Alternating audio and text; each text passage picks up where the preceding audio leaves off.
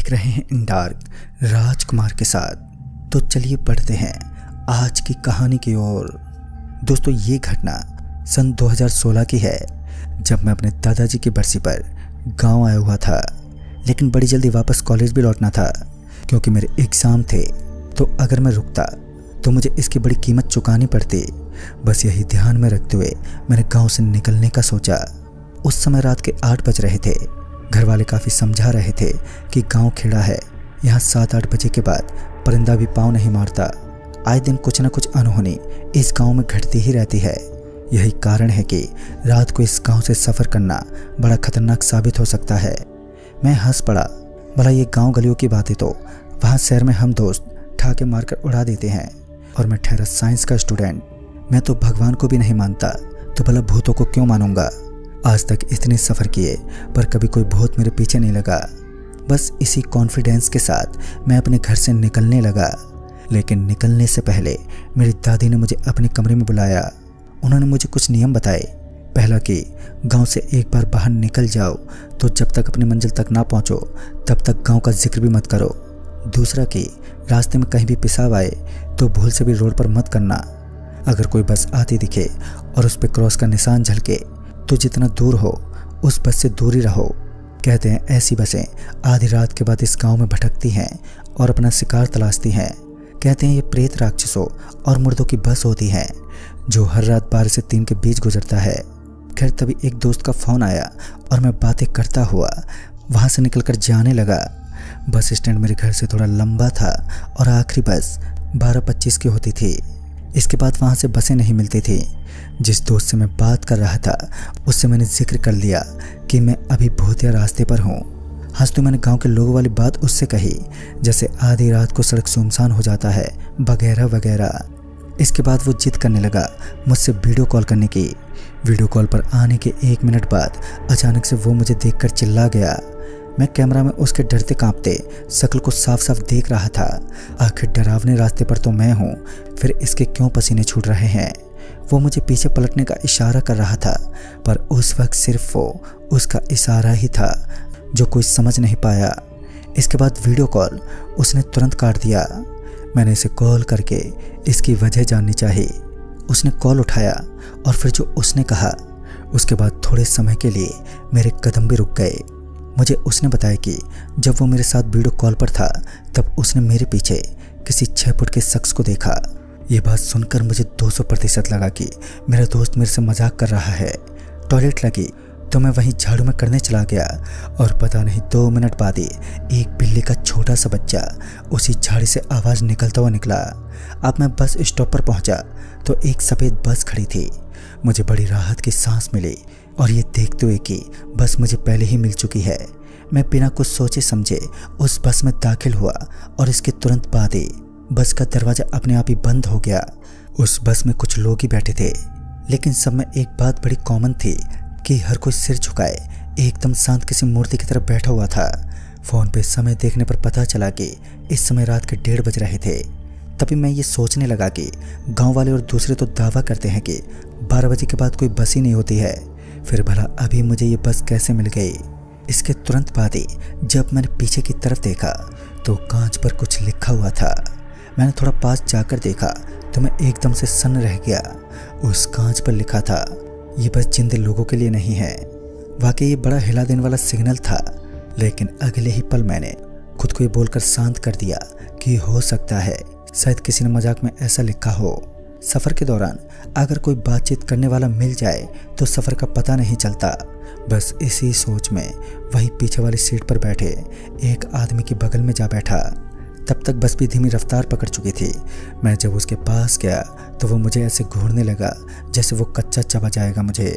अब तो मैं भी पीछे हट गया, क्योंकि उस आदमी की निगाहें और उसका चेहरा दोनों बड़ा ही भयानक दिख रहा था। उसकी आँखों के नीचे बड़े बड़े काले घेरे थे। मैं वहाँ से हटता हुआ सबसे आगे वाली सीट पर जा बैठा। वहाँ पर खिड़की खुली हुई थी तो हल्की नींद के साथ खिड़की पर सीट टिकाए मुझे नींद लग गई। फिर दो मिनट के बाद मुझे कोई टांगों से घसीटता हुआ जंगल की तरफ़ ले जा रहा था। कुछ लोगों की भीड़ ने मुझे जैसे अपना शिकार बना लिया है।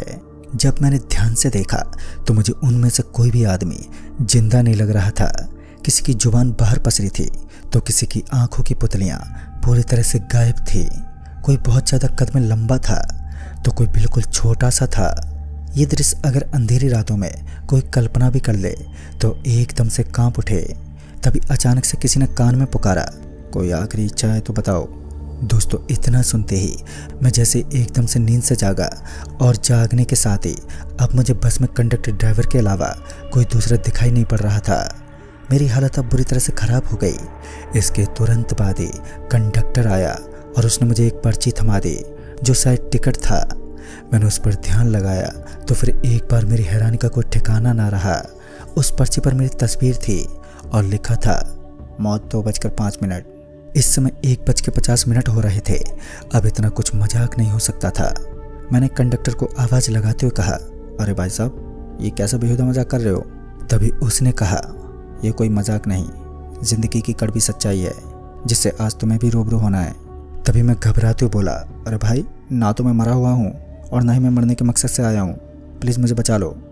उस कंडक्टर ने मुझसे अपने नज़रें ऐसे फेर ली, जैसे वो भी मेरी मौत चाहता हो। इसके बाद मैं बहुत रोया, गिड़गड़ाया और आज पहली बार भगवान शब्द का नाम मेरे ज़ुबान पर आया। इतना सब देखकर तो हैवान को भी रहम आ जाए, उसने मुझे धीरे से कहा, हर रात दो बजे, ये बस जंगल के बीचों बीच रुकती है। तभी एक मुर्दों की टोली दरवाजे को ज़ोर से खटखटाते हुए अंदर की तरफ़ दाखिल होती है और ये इस चीज़ की खोज पड़ताल करती है कि क्या कोई ज़िंदा शख्स मौजूद है इस बस में। अगर कोई होता है तो उसे जंगलों में घसीट कर ले जाते हैं और फिर इसके बाद उसका क्या होता है, ये कोई भी नहीं जान पाता। उस आदमी का नामो निशान तक इस दुनिया से मिट जाता है। अगर 500 साल तक भी उस शख्स की लगातार खोज की जाए तो वो शख्स नहीं मिल पाएगा। अब मैं बुरी तरह से काँप रहा था। उसने मुझे एक उपाय बताया। हर लोहे का लोहा होता है। इससे बचने के दो रास्ते हैं। सबसे पहला कि जब वो टोली बस में दाखिल हो तो खुद को इस प्रकार मूर्ति बना लो, जैसे कि तुम ज़िंदा नहीं, बल्कि एक ज़िंदा लाश हो। रात के तीन बजे, बस अपने आप इस सुमसान और तेज हवाओं के वातावरण में पूरी तरह से गायब हो जाती है। इसीलिए किसी तरह ड्राइवर को चकमा देकर बस से उतरकर भागना होगा। एक और बात इस बस से एक बार नीचे कूद गए तो भूल कर भी बस को पलट कर नहीं देखना चाहिए, वरना अब की बार बस में कैद हो जाओगे और फिर कभी इससे छुटकारा नहीं मिल पाएगा। ये सब सुनने के बाद तो मेरे तो पसीने छूटने लगे। इसके तुरंत बाद में एक जगह चिपक कर बैठ गया। तभी बस रुकी और एक घने डरावने जंगल के बीचों बीच रुकी। पता नहीं मुझे क्या हुआ। मैं सीधा बस के गेट पर गया और दरवाज़ा खोलते ही मैं वहाँ से भाग निकला। वो कंडक्टर बार बार मुझे आवाज़ दे रहा था कि मैं ऐसा ना करूँ, लेकिन मैं अपनी मौत का इंतज़ार नहीं कर सकता था और एक ज़िंदा इंसान को रियल लाइफ में मरने का ढोंग करने के लिए बोला जाए तो न जाने इससे भी कुछ ज़्यादा खतरनाक होगा। बस से उतरने के बाद सामने एक जामुन का पेड़ था। उसके अलावा मेरे पास कोई ऑप्शन नहीं था क्योंकि सड़क सुनसान और अगर जंगल में भागता तो मेरे दौड़ने की आवाज़ पूरे जंगल में गूंजने लगती और तब मेरी मौत निश्चित थी। फिर मैं पेड़ की उस डाली पर चिपक कर बैठ गया। फिर थोड़ी देर के बाद जो मैंने देखा, उसे देखने के बाद तो पूरा माहौल काँप उठा। तेज तूफ़ान चलने लगे और इसी बीच बुरी तरह घायल कुछ लोगों की टोली बस में दाखिल होती है। कंडक्टर को वो लोग टांगों से घसीटते हुए जंगल की तरफ़ ले जाते हैं। पहले तो मुझे समझ नहीं आया कि उसे क्यों ले गए, लेकिन बाद में मुझे ये समझ आया कि उसने मुझे मरने का टिकट दे दिया था और मैं भाग गया। इसी गलती के कारण उसे सजा भुगतनी पड़ती। अब उन मुर्दों ने उस कंडक्टर का क्या किया होगा, ये तो मालूम नहीं। लेकिन मुझे अब जाकर कुछ याद आया। गौर से देखने पर पता चला कि बस के ठीक सामने वाले कांच पर एक बड़ा सा क्रॉस का निशान था। मेरी दादी ने मुझे इसकी सख्त हिदायत दी थी कि मैं किसी ऐसी बस में ना चढ़ूं, जिस पर क्रॉस का निशान हो। इसका मतलब होता है जिंदों की नो एंट्री। फिर सुबह से सात, साढ़े सात बजे तक मैं उसी जंगल में रहा और भोर हुई। रोशनी का उजाला हुआ तो मैं घर पहुँचा। शहर जाने की अब हिम्मत कहाँ रही थी? मैंने घर पे किसी को वो किस्सा नहीं बताया, सिवाय अपनी दादी के, क्योंकि मुझे इसका सच जानना था। दादी ने पहले तो किसी पंडित को बुलवाकर मेरा शुद्धिकरण करवाया, ताकि मेरे ऊपर कोई साया प्रभाव न डाल सके। फिर उन्होंने कहा, दरअसल ये प्रथा पिछले 20 साल से चलती आ रही है। रात 12 बजे के बाद इंसान में उतनी ताकत फुर्ती नहीं रह जाती, जितनी कि दिन में होती है। गोमती नगर जाने के लिए एक बस रात को रवाना हुई, बारह, साढ़े बारह बजे के करीब। लेकिन वो अपनी मंजिल तक पहुँचे। उससे पहले गाँव के तालाब के पुल से गुजरते वक्त पुल टूटने की वजह से बस नीचे जा गिरी और 36 पैसेंजर समेत, कंडक्टर, ड्राइवर समेत उनकी मौत हो गई। बस इसके बाद से हर रात एक बस रात के 12 बजे से 3 बजे जिंदों की तलाश में रहती है और वो बस उसी पुल पर जाकर गायब होती है। जो ज़िंदा होता है, वो अपने आप नीचे पोखरे में गिर जाता है। जबकि जो मर चुका होता है तो वो सभी बस समेत कहीं दूसरी दुनिया में विलुप्त हो जाते हैं। इसके साथ ही अब कह सकते हैं कि रात के 12 बजे के बाद कभी भूल कर भी बस से सफ़र नहीं करना चाहिए। तभी मैंने कंडक्टर के बारे में पूछा तो उन्होंने बताया कि वो कंडक्टर खुद एक खेल खेलता है। वो बचाता नहीं बल्कि तुम्हें फंसा रहा था। उसके कहे मुताबिक, अगर तुम बैठे रह जाते तो परमात्मा भी तुम्हें बचा नहीं पाते। इसका सबसे बड़ा कारण है कि कंडक्टर उन मौतों का जिम्मेदार ठहराया गया।